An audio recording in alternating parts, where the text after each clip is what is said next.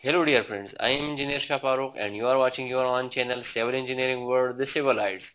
This is the 8th video of the series Important Civil Engineering MCQs Solved and Explained. In this video I have collected 10 most important MCQs related to the field of civil engineering. After watching this video full, you will be able to know about the pattern of the upcoming civil engineering test. So watch the video full and do not forget to like the video. Let's start today's topic.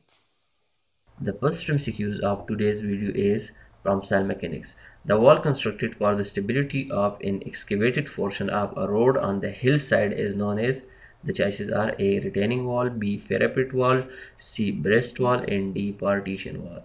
We know that retaining wall is a structure which is constructed to retain soil or water, and breast wall is the special type of retaining wall which is constructed on the hillside of the road to retain soil from coming to the road. So the right choice for this question is C. Breast wall.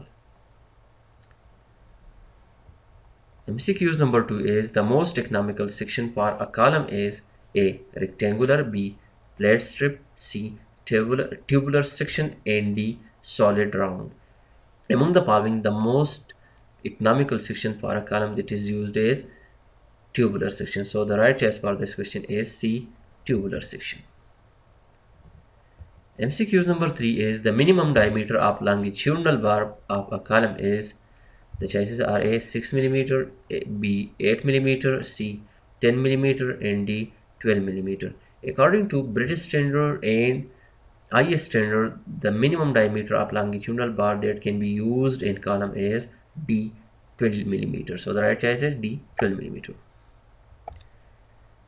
MCQs number 4 is biochemical oxygen demand which is known as BOD of safe drinking water must be the choices are A 5 B 10 C 15 and D nil. Biochemical oxygen demand or BOD means that the amount of oxygen required for bacteria to decompose the organic material. So for drinking water the bacteria and organic material are undesirable so the right choice for this question is D nil. MCQs number 5 is volume of traffic which would immediately use a new road or an improved one when open to traffic is known as the choices are A. Live traffic B. Current traffic C. Development traffic and D. General traffic. The right choice for this one is B. Current traffic.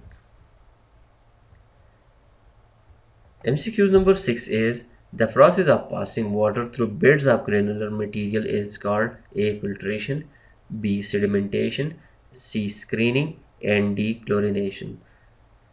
This is an easy one and the right choice for this question is A. Filtration. MCQ number 7 is for diversion of flood water of rivers the type of canal constructed is A. Perennial canal B. Ridge canal C. Inundation canal and D. Periodic canal. Inundation canal is a type of canal which is used for the diversion of floodwater of rivers. So the right answer for this question is C. Inundation canal. MCQ number 8 is raising of outer edge of road with respect to inner edge is known as A. Super elevation B. Cant C. Banking of roads and D. All of these. We know that these three are the name of the same thing so the right choice for this question is D all of these because raising of outer edge of road with respect to inner edge is known as super elevation or cant or banking of roads. MCQs number 9 is for determining the velocity of flow of underground water the most commonly used non-empirical formula is A. Darcy formula B. Hazen formula C. Lacey's formula D. Slichter formula. The most commonly used formula for underground water velocity is A. Darcy formula. MCQs number 10 is the first method invented for planning project was A. Bar chart method B. Milestone chart C. Critical path method and D. Program evaluation and review technique which is also known as PERT. Among the following the, the first method which is invented for planning project is bar chart method. So the right choice for this question is A. Bar chart method.